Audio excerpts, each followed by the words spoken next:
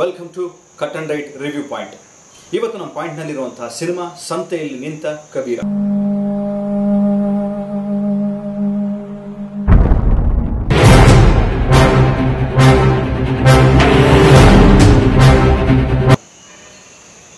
ಇಂಥ ಒಂದು ಒಳ್ಳೆಯ ಕೃತಿಯನ್ನ ಕನ್ನಡಕ್ಕೆ ತಂದು, ಕನ್ನಡದಲ್ಲಿ ಇಂಥ ಒಂದು ಒಳ್ಳೆಯ ಪ್ರಯತ್ನವನ್ನ ಮಾಡಿದ್ದಕ್ಕೆ ನಿರ್ಮಾಪಕರಾದಂತಹ ಕುಮಾರಸ್ವಾಮಿ ಪತ್ತಿಕೊಂಡ ಮತ್ತು ಇಡೀ ಚಿತ್ರತಂಡಕ್ಕೆ ಅಭಿನಂದನೆಗಳನ್ನ ಹೇಳಲೇಬೇಕು. ನಿಜಕ್ಕೂ ಸಂತೆಯಲ್ಲಿ ನಿಂತ ಕಬೀರ ಈ ಸಿನಿಮಾ ಒಂದು ಉತ್ತಮವಾದಂತಹ ಒಳ್ಳೆಯ ಸಿನಿಮಾ ಅಂತ ಹೇಳೋದ್ರಲ್ಲಿ ಎರಡು ಮಾತಿಲ್ಲ. ತುಂಬ ಚೆನ್ನಾಗಿ ಇದೆ ಈ ಸಿನಿಮಾ.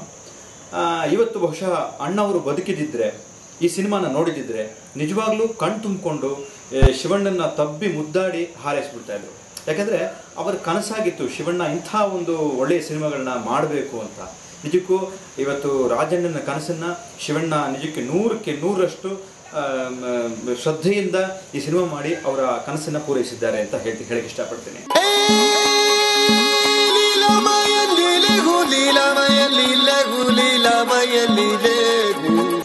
ಇನ್ನು ಶಿವಣ್ಣನ ಬಗ್ಗೆ ಹೇಳಬೇಕು ಅಂದ್ರೆ ಶಿವಣ್ಣ ಎಲ್ಲೂ ತಮ್ಮ ತಾಳ್ಮೆಯನ್ನ ಕಳ್ಕೊಳ್ಳದೆ ಕಬೀರ್ನಾಗಿ ಕಬೀರ್ನ ಕಬೀರ ಅನ್ನೋ ಈ ಪಾತ್ರವನ್ನ ಚೆನ್ನಾಗಿ ಅರ್ಥ ಮಾಡಿಕೊಂಡು ಕಬೀರ್ನಾಗೆ ಇಡೀ ಸಿನಿಮಾ ತುಂಬ ಕಾಣಿಸ್ಕೊಂಡಿದ್ದಾರೆ. ಆ ಪಾತ್ರಕ್ಕೆ ನ್ಯಾಯವನ್ನು ಸಲ್ಲಿಸಿದ್ದಾರೆ. ಮತ್ತು ತುಂಬ ಇಷ್ಟ ಆಗ್ತಾರೆ. ಡೈಲಾಗ್ ಡೆಲಿವರಿ ಇರಬಹುದು. ಆಮ್, ಆಮೇಲೆ ಅವರ ವೇ ಆಫ್ ಪರ್ಫಾರ್ಮೆನ್ಸ್ ಇರಬಹುದು. ಪ್ರತಿಯೊಂದು ವಿಷಯದಲ್ಲೂ ಶಿವಣ್ಣ ಈ ಸಿನಿಮಾದಲ್ಲಿ ತುಂಬ ಫುಲ್ಫಿಲ್ ಮಾಡಿದ್ದಾರೆ. ತುಂಬ ಇಷ್ಟ ಆಗ್ತಾರೆ.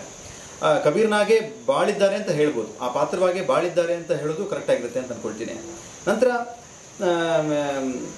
ಈ ಸಿನಿಮಾ ಶಿವಣ್ಣನ ಜೀವನದಲ್ಲಿ ಅವರು ಎಷ್ಟು ಸಿನಿಮಾಗಳು ಮಾಡ್ಕೊಂಡು ಬಂದಿರಲ್ಲ ಅವ್ರ ಜೀವನದಲ್ಲಿ ಈ ಸಿನಿಮಾ, ಸಂತೆಯಲ್ಲಿ ನಿಂತ ಕಬೀರ ಅನ್ನೋ ಈ ಸಿನಿಮಾ ಮೈಲಿಗಲ್ಲು ಅಂತಾನೆ ಹೇಳ್ಬೋದು.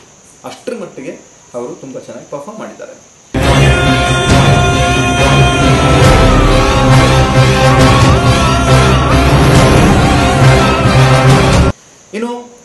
ಚಿತ್ರದ ನಿರ್ದೇಶಕ ತುಂಬಾ ಧೈರ್ಯವಾಗಿ ಇರಬಹುದು ಇಂದ್ರಬಾಬು ಅವರು ಯಾಕೆಂದ್ರೆ ಎಲ್ಲೂ ಕೃತಿಗೆ ದೋಷ ಆಗದ ಹಾಗೆ, ಕಾದಂಬರಿಗೆ ದೋಷ ಆಗದ ಹಾಗೆ ತುಂಬಾ ಅಚ್ಚುಕಟ್ಟಾಗಿ ಎಲ್ಲೆಲ್ಲಿ ಹೇಗೆ ಸೀನ್ ಕ್ರಿಯೇಟ್ ಮಾಡಬೇಕು, ಎಲ್ಲಿ ಯಾವ ಸನ್ನಿವೇಶನ ಯಾವ ಯಾವ ಸನ್ನಿವೇಶನ ಯಾವ ಥರ ಹ್ಯಾಂಡಲ್ ಮಾಡಬೇಕು ಅನ್ನೋದನ್ನ ಚೆನ್ನಾಗಿ ಅರ್ಥ ಮಾಡಿಕೊಂಡು ಮಾಡಿದ್ದಾರೆ.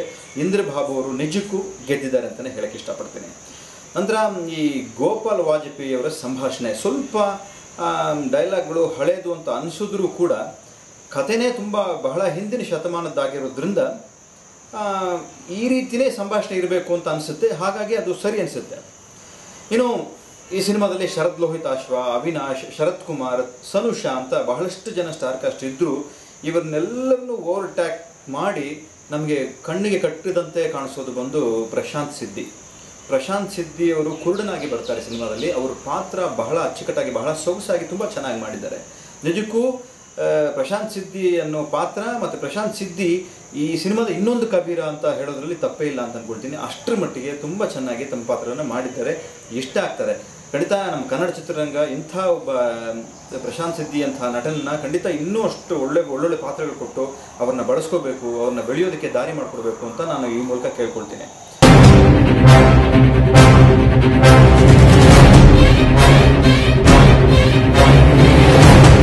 ಇನ್ನೊಂದು ಮುಖ್ಯವಾದ ಹೈಲೈಟ್ ಅಂದರೆ ಅನಂತ್ನಾಗ್ ಸರ್ ಒಂದು ಸಾಧು ಸನ್ಯಾಸಿ ಪಾತ್ರವನ್ನು ಮಾಡಿದ್ದಾರೆ.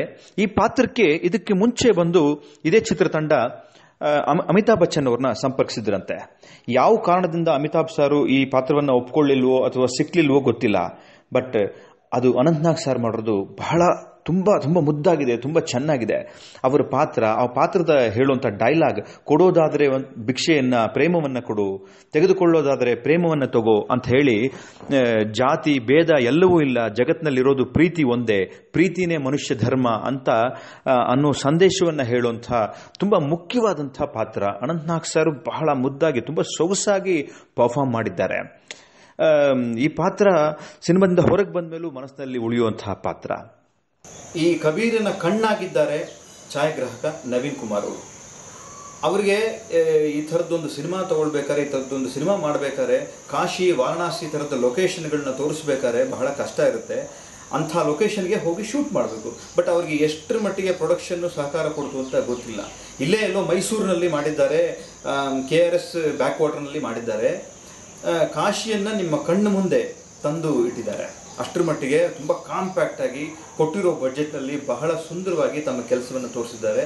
ಅಷ್ಟೇ ಅಲ್ಲದೆ ಚಾಲುಕುಡಿ ಫಾಲ್ಸ್ನಲ್ಲಿ ಬರುವಂತಹ ಒಂದು ಹಾಡಿರಬಹುದು ಅಥವಾ ಓವರಾಲ್ ಸಿನಿಮಾ ಬಂದು ತುಂಬ ಸುಂದರವಾಗಿ ಚೆನ್ನಾಗಿ ಕಾಣಿಸಿದೆ ಅಂದರೆ ಅದಕ್ಕೆ ಮುಖ್ಯವಾದ ಕಾರಣ ನವೀನ್ ಕುಮಾರ್. ಶಿವಣ್ಣ ಹೇಳಿದಾಗೆ ಖಂಡಿತ ನವೀನ್ ಕುಮಾರ್ ಕವಿ ಕಬೀರ ಸಿನಿಮಾದ ಇನ್ನೊಂದು ಹೀರೋ ಅಂತ ಹೀರೋ ಅಂತಲೇ ಹೇಳ್ಬೋದು.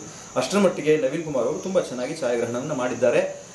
ಅವರಿಗೆ ಖಂಡಿತ ಫ್ಯೂಚರ್ನಲ್ಲಿ ಬಹಳ ಒಳ್ಳೊಳ್ಳೆ ಸಿನಿಮಾಗಳು ಸಿಗುತ್ತೆ. ಮತ್ತು ನ್ಯಾಷನಲ್ ಅವಾರ್ಡ್, ಸ್ಟೇಟ್ ಅವಾರ್ಡ್ ಅಂತ ಯಾವ ಯಾವ ಪ್ರಶಸ್ತಿಗಳಿದೆಯೋ ಅಷ್ಟು ಬಂದು ನವೀನ್ ಕುಮಾರ್ ಮಡ್ಲಿಗೆ ಬೀಳುತ್ತೆ ಅಂತ ಹೇಳೋದ್ರಲ್ಲಿ ಸಂದೇಹನೇ ಇಲ್ಲ.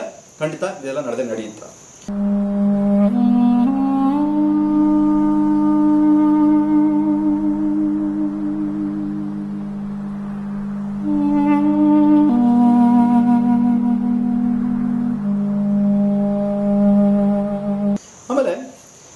ಒಂದು, ನಾನು ಕಂಪ್ಯಾರಿಸನ್ ಮಾಡ್ತಿಲ್ಲ. ಕಬಾಲಿ ಬೇರೆ ಸಿನಿಮಾ, ಕಬೀರ ಬೇರೆಯೇ ಜಾನರ್ ಆದಂಥ ಸಿನಿಮಾ. ಆದರೆ ಕಬಾಲಿಯಲ್ಲೂ ಇಲ್ಲದೇ ಇರುವಂತಹ ತುಂಬ ಅದ್ಭುತವಾದಂತಹ ಅಂಶಗಳು, ಸುಮ್ ತುಂಬ ಒಳ್ಳೆಯ ವಿಷಯಗಳು ಕಬೀರ ಸಿನಿಮಾದಲ್ಲಿದೆ. ಆದರೆ ಕಬಾಲಿ ಸಿನಿಮಾಗೆ ಸಿಕ್ಕಿರುವಂತಹ ಪ್ರಮೋಷನ್ನು ಆದ್ಯತೆ ಕಬೀರಾಗೆ ಕೊಟ್ಟಿಲ್ಲ ಅನ್ನೋದು ನನ್ನ ನನ್ನ ವೇದನೆ, ನನ್ನ ಬೇಸರ ಅಂತ ಎಲ್ಲವನ್ನೂ ಹೇಳ್ತೀನಿ. ಕಬಾಲಿ ಸಿನಿಮಾಗೆ ಬಂದು ಕನ್ನಡದ ಎಷ್ಟೋ ಜನ ಆರ್ಟಿಸ್ಟ್ಗಳು ಎಲ್ಲರೂ ಹೋಗಿ ಪ್ರಮೋಷನ್ಗಳು ಮಾಡಿಕೊಟ್ಟಿದ್ದೀರಾ? ಯಾಕೆ ನೀವು ಕಬೀರಾಗೆ ಮಾಡ್ತಾ ಇಲ್ಲ? ಬನ್ನಿ, ಎಲ್ಲರೂ ಈ ಸಿನಿಮಾನ ನೋಡಿ ಪ್ರಮೋಟ್ ಮಾಡಿ. ಇಂಥ ಸಿನಿಮಾಗಳು ನಿಲ್ಲಬೇಕು ಇದು ನಿಜವಾಗ್ಲೂ ಇದು ಇಂಟರ್ನ್ಯಾಷನಲ್ ಕ್ವಾಲಿಟಿ ಇರುವಂತಹ ಸಿನಿಮಾ.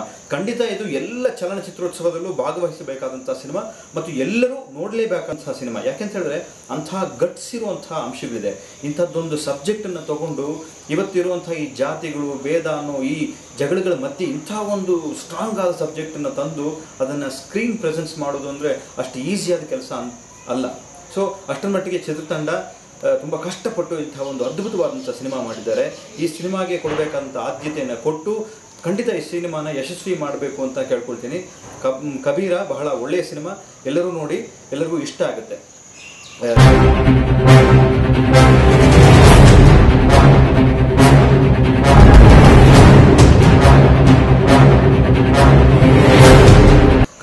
ಕೊಟ್ಟಂತಹ ರೆಸ್ಪೆಕ್ಟನ್ನ ಕಬಾಲಿಗೆ ಕೊಟ್ಟಂತಹ ಮರ್ಯಾದೆಯನ್ನ, ಕಬಾಲಿಗೆ ಕೊಟ್ಟಂತಹ ಪ್ರಮೋಷನ್ನ ಎಲ್ಲ ಚಾನೆಲ್ ಅವರು ಪ್ರತಿಯೊಬ್ಬರು ಇದಕ್ಕೂ ಕೊಡಬೇಕು ಅಂತ ಕೇಳ್ಕೊಳ್ತೀನಿ. ಕಬೀರ ಖಂಡಿತ ಗೆಲ್ತಾನೆ. ಕಬೀರನ ವಿಷಯ ತುಂಬ ಚೆನ್ನಾಗಿದೆ. ನಿಮ್ಮೆಲ್ಲರಿಗೂ ಇಷ್ಟ ಆಗುತ್ತೆ. ನಮ್ಮ ಸುದ್ದಿ ವಿಮರ್ಶೆ ನಿಮಗೆ ಇಷ್ಟ ಆದರೆ ಕೆಳಗಿರೋ ಸಬ್ಸ್ಕ್ರೈಬ್ ಬಟನ್ ಒತ್ತಿ ಸಬ್ಸ್ಕ್ರೈಬರ್ ಆಗಿ. ನಮಸ್ಕಾರ.